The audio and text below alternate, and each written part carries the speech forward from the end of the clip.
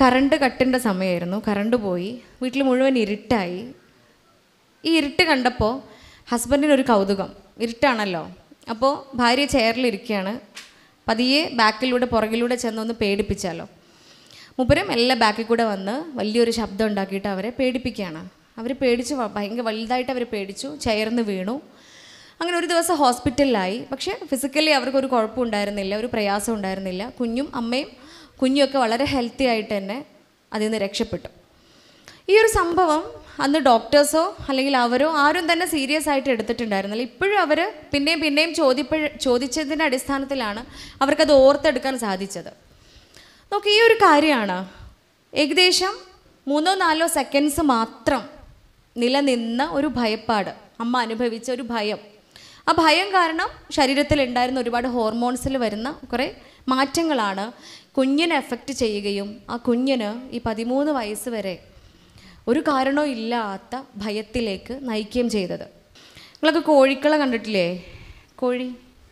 ഇല്ലേ? ഈ കോഴി കോഴിമുട്ട എത്ര ദിവസം കഴിയുമ്പോഴാണ് വിരിയ? പെട്ടോ? ഇരുപത്തി ഇരുപത്തൊന്ന് ദിവസം കഴിയുമ്പോൾ വിരിയും അല്ലേ? കറക്റ്റ് അല്ലേ? അങ്ങോട്ടും ഇങ്ങോട്ടും ആവില്ലല്ലോ? ഇരുപത്തിരണ്ടോ ഇരുപതോ ആവില്ലല്ലോ? പതിന ഒന്ന് കൈയടിച്ചാണേ അദ്ദേഹത്തിന് വേണ്ടിയിട്ട് അല്ല ഇത്ര ആക്യുറേറ്റ് ആയിട്ട് എക്സാക്റ്റ് ആയിട്ട് പറയാന്ന് വെച്ചാൽ എയ്റ്റീൻ ടു ട്വന്റി വൺ അല്ലേ? ആണോ? എനിക്കറിയില്ല കേട്ടോ ആണോ? ആ ആർക്കും അറിയാത്തോണ്ട് അംഗീകരിച്ചു കൊടുക്കാന്നാണോ? അങ്ങനെ തന്നെയാ? അല്ലേ പതിനെട്ടിന്റെയും ഇരുപത്തൊന്നിന്റെ ഇടയിൽ എപ്പോൾ വേണമെങ്കിലും കോഴി കുഞ്ഞ് വിരിയാം. കോഴി മുട്ട വിരിഞ്ഞിട്ട് കുഞ്ഞ് പുറത്ത് വരാമെന്ന് പറയുമ്പോൾ ഈ കുഞ്ഞിനെ പുറത്ത് വന്ന കുഞ്ഞിനെ എത്ര നാൾ കോഴിയമ്മ വളർത്തും? ഏ എത്ര നാൾ വളർത്തുണ്ണിയാളെ പതിനെട്ട് വയസ്സ് വരെ വളർത്തുവോ? പിന്നെയോ? നിങ്ങൾ എന്നെ പറഞ്ഞാളി. മൂന്നാഴ്ച. ആ മൂപ്പര് എക്സ്പേർട്ട് ആട്ടോ അതിൽ നിങ്ങൾക്ക് ഫാമാണോ കോഴി ഫാമാ അല്ല. നോക്കൂ. മൂന്നാഴ്ച കോഴി കുഞ്ഞിനെ കോഴി അമ്മ കൊണ്ടുനടക്കും അല്ലേ എങ്ങനെ ചിറകിന്റെ ഉള്ളിലാക്കിയിട്ട് അതിനടുത്ത് കൂടെ എങ്ങാനും നമ്മൾ ആ സമയത്ത് പോയി കഴിഞ്ഞാൽ പാറി കൊത്തും അല്ലേ? ആരെയും അടുത്ത് പോലും വരാൻ സമ്മതിക്കാണ്ട് തന്റെ കുഞ്ഞുങ്ങളെ ഇങ്ങനെ കൊണ്ട് നടക്കും മൂന്നാഴ്ച. മൂന്നാഴ്ച കഴിഞ്ഞാൽ പിന്നെ വൈക്ക് പോകാൻ പറ്റുമോ ആര്? കോഴിക്കുട്ടി അമ്മേന്റെ അടുത്ത് പോകാൻ പറ്റൂല. കൊത്തി ആട്ടും അതിനെ അല്ലേ? പിന്നെ സ്വന്തം തിരഞ്ഞ് നടക്കണം ഭക്ഷണം പിന്നെ സ്വന്തം അന്വേഷിച്ച് നടക്കുകയാണ്. കോഴി അങ്ങനെയാണെന്നുണ്ടെങ്കിൽ പൂച്ച എങ്ങനെയാ? പൂച്ച പിന്നെ എന്താണെങ്കിലും പതിനെട്ട് വയസ്സ് വരെയാ? ഏ? പൂച്ച? പൂച്ചനെ കുറിച്ച് നിങ്ങൾക്ക് അറിയില്ലല്ലേ? പൂച്ചേന്റെ ഡിപ്പാർട്ട്മെന്റ് അല്ല എന്ന് പറയണേ. പൂച്ച എത്ര കാലം? ഒരു ഏഴ് വീടുകളൊക്കെ പൂച്ച ഇങ്ങനെ കൊണ്ട് നടക്കും എന്നൊക്കെ പറയണ കേട്ടിട്ടില്ലേ നിങ്ങൾ ഇല്ലേ?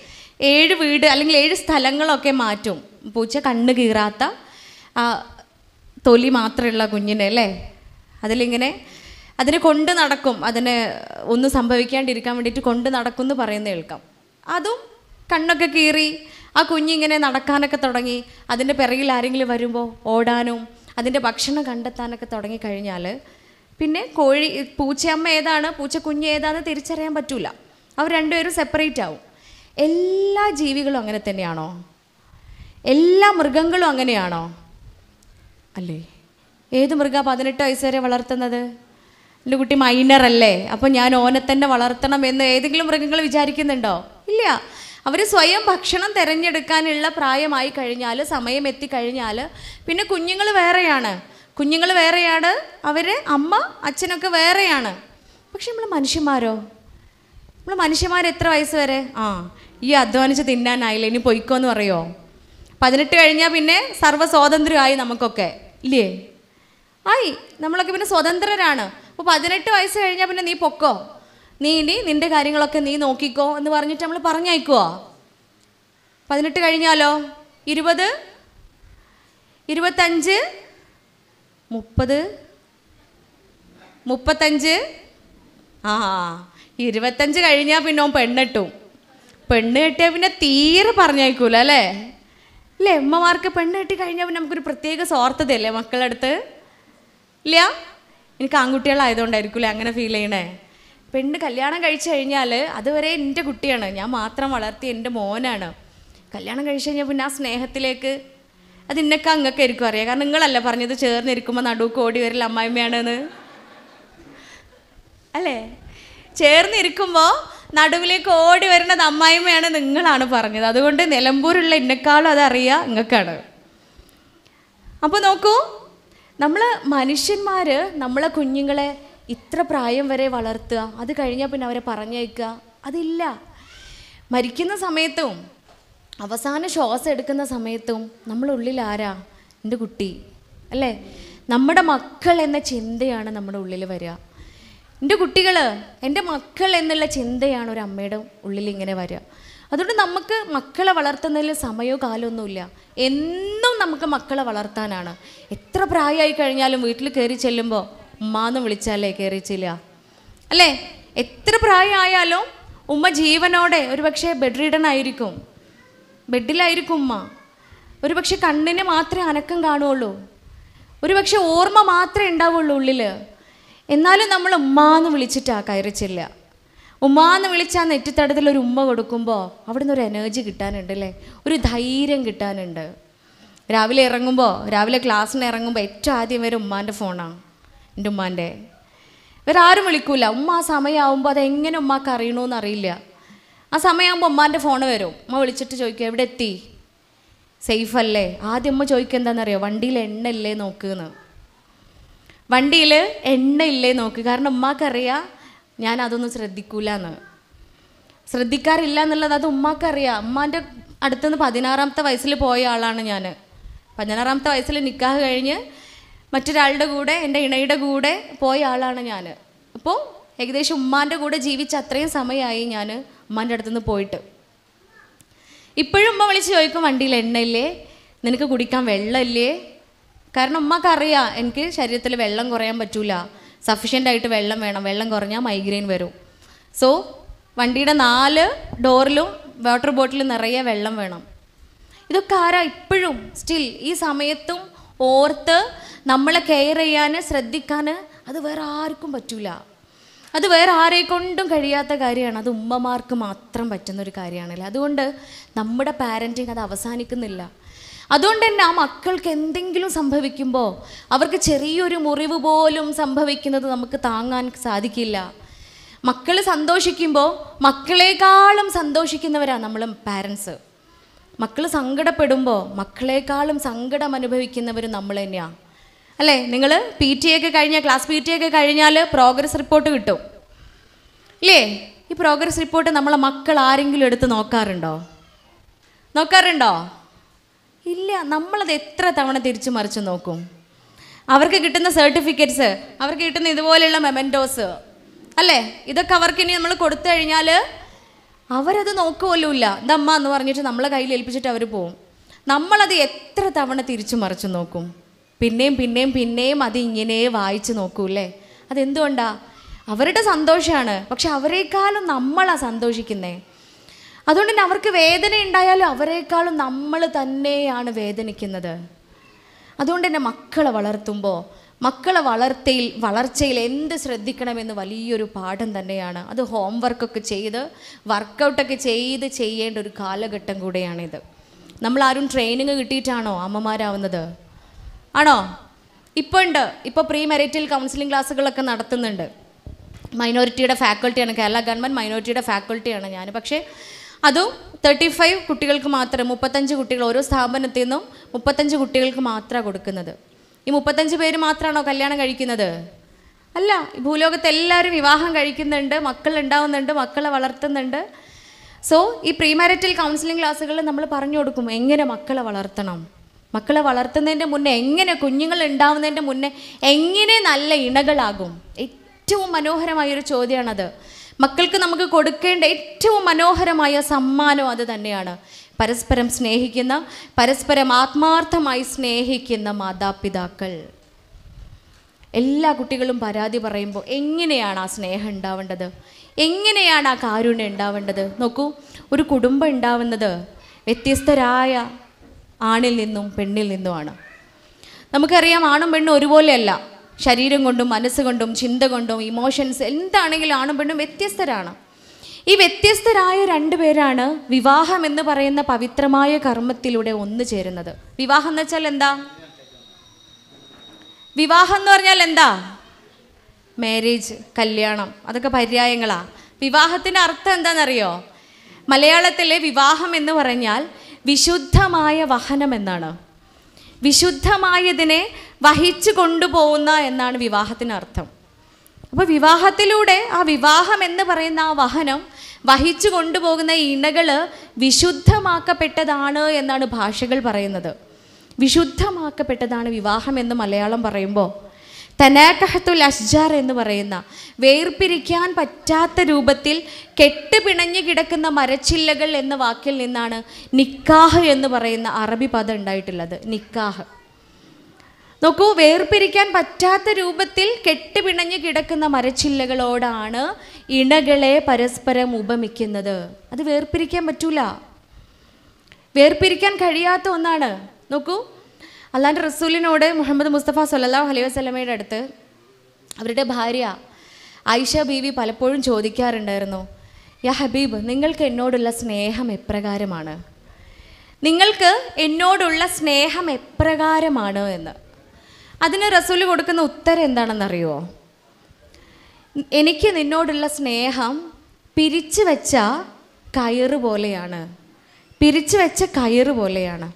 നോക്കൂ ആ പിരിച്ചു വെച്ച കയറിനെ ആര് തന്നെ വിചാരിച്ചാലും എത്ര പേര് വിചാരിച്ചാലും അതിന്റെ കെട്ടഴിക്കാൻ അതിന്റെ ആ പിരിച്ചു വെച്ച അതിന്റെ ആ കെട്ടഴിക്കാൻ സാധിക്കില്ല. അത്രയേറെ ഇഷ്ടമാണ് പ്രിയപ്പെട്ടവളെ എനിക്ക് നിന്നെ എന്ന് ഹബീബ് നമുക്ക് മാതൃക കാണിക്കുമ്പോൾ അതിൽ പറയുകയാണ് ആയിഷ ബീവി ഇടയ്ക്കിടെ ചോദിക്കുമായിരുന്നു. റസൂലിന്റെ അടുത്ത് എപ്പോഴും എപ്പോഴും ചോദിക്കുമായിരുന്നു. ഇപ്പോൾ എന്താണ് ആ കയറിന്റെ അവസ്ഥ എന്ന്? ആ പിരിച്ചു വെച്ച ആ കയറിന്റെ അവസ്ഥ ഇപ്പോൾ എന്താണ് എന്ന് ഇടയ്ക്കിടെ തന്റെ ഇണയോട് ചോദിക്കുമായിരുന്നു. നമുക്കിന്ന് പുറേ പോയിട്ടും ചോദിച്ചു നോക്കാം അല്ലേ എല്ലാവർക്കും? ഇല്ലേ? എന്താണ് ആ കയർ അത് അങ്ങളൊക്കെ എന്താ ഇങ്ങനെ ചിരിക്കണേ? ഏ? അങ്ങനെ ഒരു കയർ തന്നെ ഇല്ലേ? എന്താണ് ആ കയറിന്റെ അവസ്ഥ എന്ന് നമ്മളൊക്കെ ഒന്ന് വീട്ടിൽ പോയിട്ട് ചോദിക്കുക. അങ്ങനെ ഒരു കയറുണ്ടോ? പിരിച്ചു വെച്ചൊരു കയറുണ്ടോ? അതോ അതിന് പശുവിനെ കെട്ടാൻ എടുത്തോ എന്നുള്ളത് നമുക്ക് നോക്കാം അല്ലേ? വീട്ടിൽ പോയിട്ടൊന്ന് അനലൈസ് ചെയ്ത് നോക്കണം.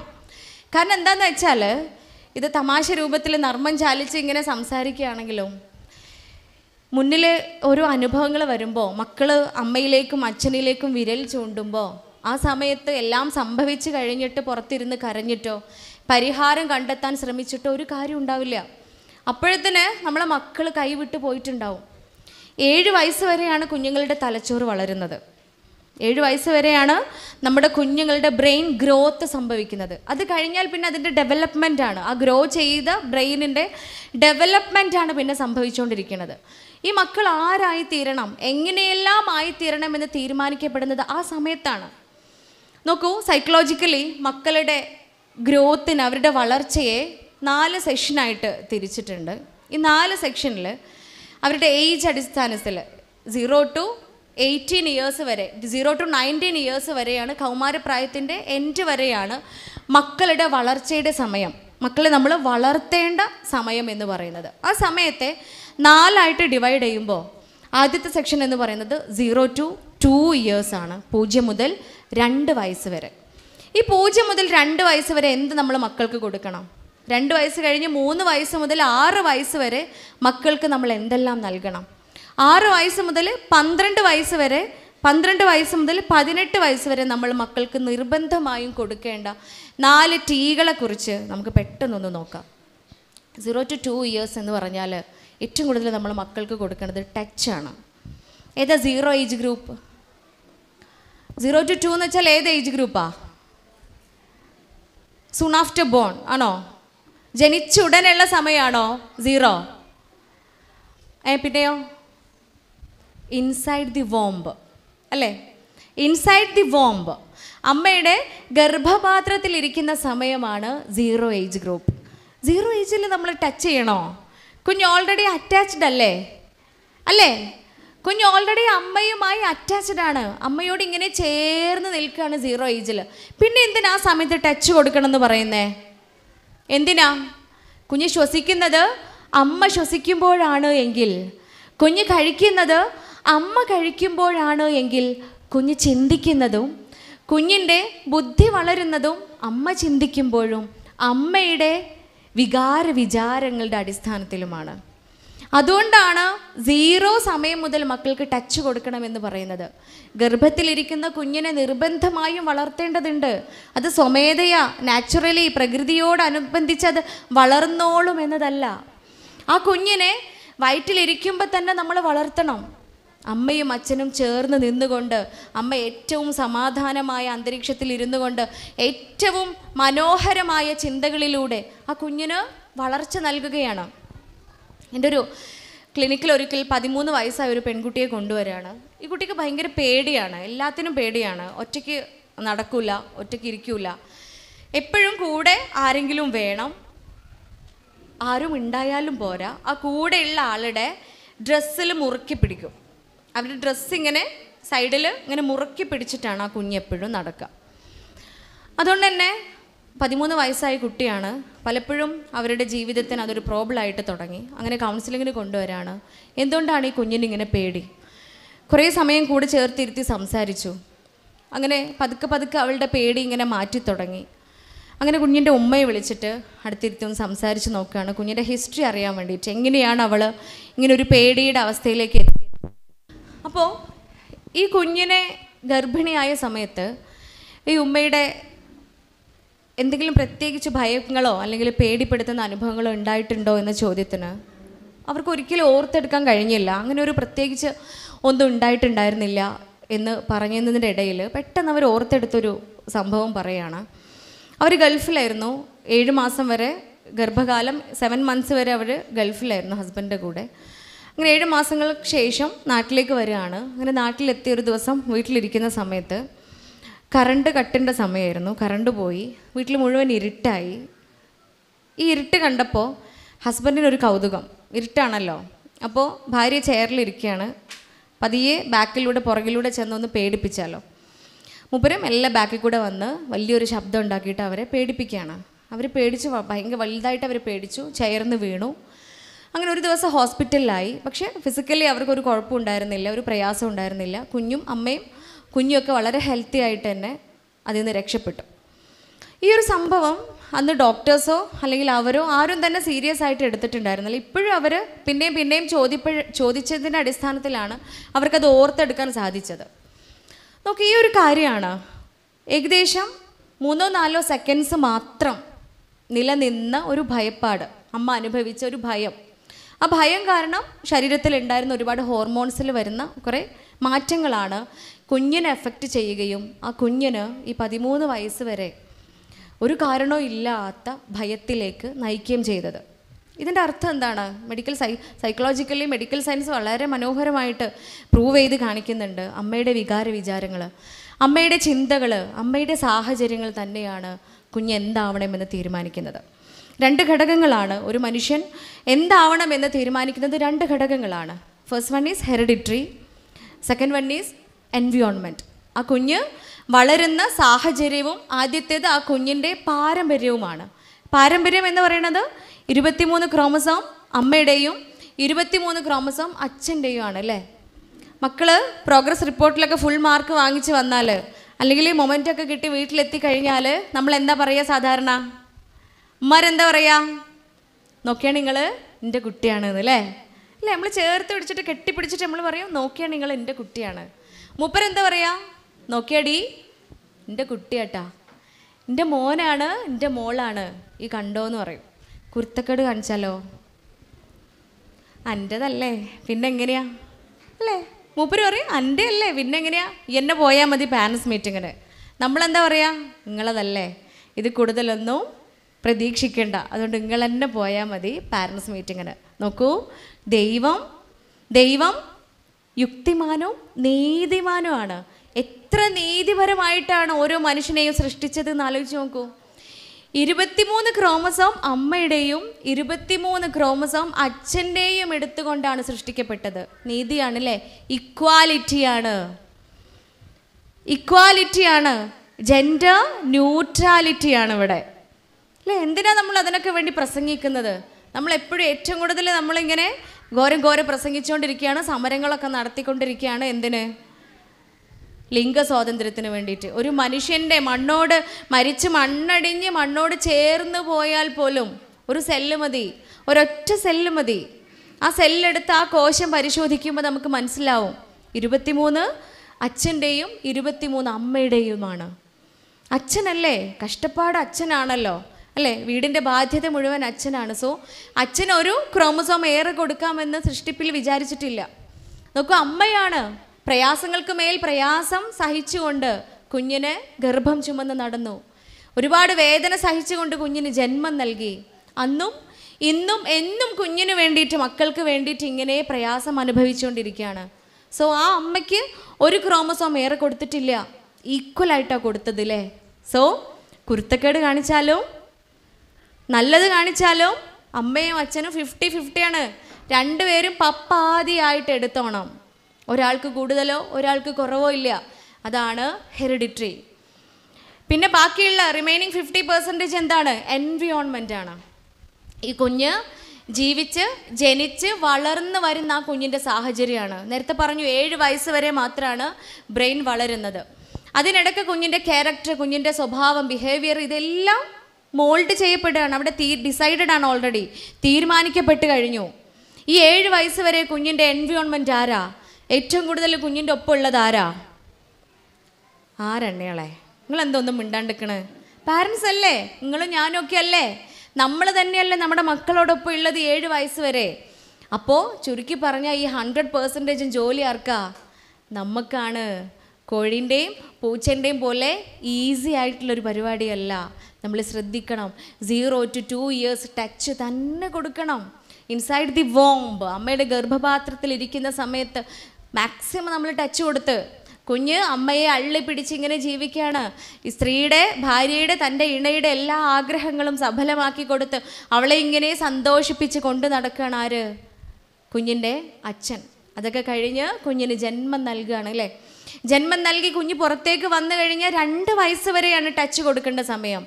ടു ഇയേഴ്സ് നിർബന്ധമായും നിർബന്ധമായും അമ്മയ്ക്ക് ആരോഗ്യകരമായി മറ്റു പ്രയാസങ്ങളൊന്നുമേ ഇല്ല എങ്കിൽ നിർബന്ധമായും നമ്മൾ ഫീഡ് ചെയ്യുന്ന സമയമാണ്. കുഞ്ഞിന് മുലപ്പാൽ നൽകുന്ന സമയമാണ്. തീർച്ചയായിട്ടും കുഞ്ഞ് നമ്മളോട് ഒട്ടി നിൽക്കും അല്ലേ? നമ്മളോട് ചേർന്ന് നിൽക്കുന്ന സമയം തന്നെയാണ്. കുഞ്ഞ് പാൽ കുടിക്കുമ്പോൾ ആരെയാ നോക്കുക. എങ്ങട്ടാ നോക്കുക കുഞ്ഞ്? ഫാനുമക്കോ ഫാനുമക്കും ചുമരുമൊക്കും എന്നല്ല നമ്മുടെ മുഖത്തേക്ക് അല്ലേ? അമ്മയുടെ കണ്ണിലേക്കാണ് കുഞ്ഞ് നോക്കി നിൽക്കുക.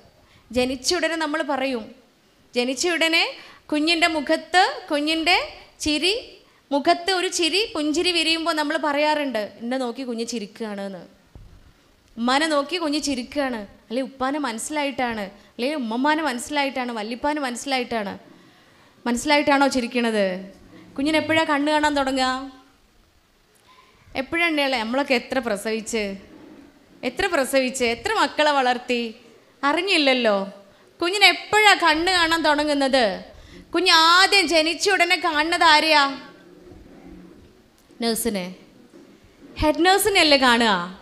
ഡോക്ടർമാരെയും കാണാനുള്ള ചാൻസ് ഒന്നുമില്ല. ഹെഡ് നേഴ്സിനെ ആയിരിക്കും കാണുക. അല്ലേ? റയർ കേസസിലൊക്കെ ചിലപ്പോൾ ഡോക്ടേഴ്സിനെ കാണുമായിരിക്കും. ബേജാറ് വേണ്ട. എന്റെ കുട്ടി എന്നെ കണ്ടില്ലല്ലോ എന്നുള്ള ടെൻഷൻ വേണ്ട. കുഞ്ഞിന് കണ്ണ് കാണൂല.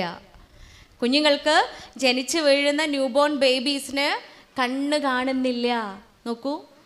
അവർക്ക് കണ്ണ് കാണാൻ തുടങ്ങുന്നത് അവർക്ക് കളേഴ്സ് ഡിറ്റക്റ്റ് ചെയ്യാൻ സാധിക്കുന്നത് പതിനാല് ദിവസങ്ങൾക്ക് ശേഷമാണ്. നമ്മൾ എന്തൊക്കെ പറഞ്ഞൂലേ ഈ പതിനാല് ദിവസത്തിന്റെ ഉള്ളിൽ? ഇല്ലേ വല്യമ്മ വന്ന് പുന്നാരിക്കുമ്പോൾ പറയും കണ്ടോ വല്യമാനെ മനസ്സിലായിട്ടാ. മാമി വന്നത് കുട്ടിക്ക് മനസ്സിലായി. ഇല്ലേ മാമീന്റെ അടുത്ത് ചിരിക്കണ കണ്ടോ? കുഞ്ഞിന് കളേഴ്സ് പോലും ഡിറ്റക്റ്റ് ചെയ്യാൻ പറ്റുന്നില്ല. കളേഴ്സ് പോലും കുഞ്ഞിന് മനസ്സിലാക്കാൻ പറ്റുന്നില്ല. പതിനാല് ദിവസം കഴിയണം. ഇരുപത്തെട്ട് ദിവസം കഴിയുമ്പോഴാണ് കുഞ്ഞിന് നമ്മളെ ഫേസ് റെക്കഗ്നൈസ് ചെയ്യാൻ പറ്റുന്നത്. നമ്മുടെ മുഖം കുഞ്ഞിന് മനസ്സിലാക്കാൻ സാധിക്കുന്നത് ഇരുപത്തെട്ട് ദിവസമാകുമ്പോഴാണ് അല്ലേ? ആ കുഞ്ഞ് അമ്മയുടെ മടിയിൽ കിടന്ന് അമ്മയുടെ കണ്ണിലേക്ക് നോക്കി പാൽ കുടിക്കുമ്പോൾ നമ്മൾ നോക്കുക? നമ്മൾ നോക്കുക? ഏ? എന്താ ഈ കയ്യിൽ എന്താ ഫോണ്. അല്ലേ? നാ കുഞ്ഞ് പാൽ കുടിക്കുകയാണ് കുഞ്ഞ് കണ്ണിമ വെട്ടാതെ അമ്മയുടെ മുഖത്ത് നോക്കിയിരിക്കുമ്പോഴും പാവ ഉമ്മ നോക്കണത് എങ്ങട്ടാന്നറിയോ? ഫോണിക്ക. മൊബൈൽ ഫോണിക്ക. ഇത് പറഞ്ഞപ്പോൾ വേറൊരു സദസ്സെന്ന് ഇതുപോലെയുള്ള ഒരു സദസ്സെന്ന് മുന്നിലിരിക്കുന്ന ഒരു ഉമ്മ എണീറ്റ് എന്നിട്ട് പറയാ കുട്ടി കരയുമ്പോൾ നിങ്ങൾ പെണ്ണുങ്ങൾക്ക് രണ്ട് സന്തോഷമല്ലേ എന്ന് ഞാൻ ചോദിച്ചാൽ എന്താ ഉമ്മ രണ്ട് സന്തോഷങ്ങൾ? നിങ്ങൾ തന്നെ പറഞ്ഞോളീ എന്ന് പറഞ്ഞു. അപ്പോൾ അമ്മ പറയാ ഒന്നാമത്തെ സന്തോഷം എത്ര വലിയ പണിയാണെങ്കിലും എത്ര മല മറിക്കണ പണിയാണെങ്കിലും അത് അവിടെ എപ്പോൾ ഇട്ടിട്ട് പോവാം. ആ പണി അവിടെ ഇട്ടിട്ട് പോവാ കുഞ്ഞിന് പാൽ കൊടുക്കണമല്ല രണ്ടാമത്തെ സന്തോഷം എന്താണ്? ഫോണിൽ പെൻഡിങ്ങിൽ കിടക്കുന്ന മെസ്സേജസിനൊക്കെ റിപ്ലൈ കൊടുക്കാം ചാറ്റൊക്കെ ക്ലിയർ ചെയ്യാം. ഇത് രണ്ടുമാണ് പെണ്ണുങ്ങൾക്കുള്ള സന്തോഷം. നോക്കൂ കുഞ്ഞേ കുഞ്ഞ് ഇങ്ങനെ അമ്മയുടെ മുഖത്തേക്ക് നോക്കുന്നത് എന്തിനാ? എന്തിനാ? എന്റെ ഉമ്മ കറുത്തിട്ടാണോ വെളുത്തിട്ടാണോ തീരുമാനിക്കാനാണോ? ആണോ? എന്റെ അമ്മയെ കാണാൻ ഭംഗിയുണ്ടോ?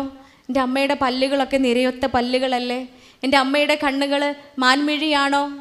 എന്ന് ഡിറ്റക്ട് ചെയ്യാൻ വേണ്ടിയിട്ടാണോ? ഉറപ്പിക്കാൻ വേണ്ടിയിട്ടാണോ?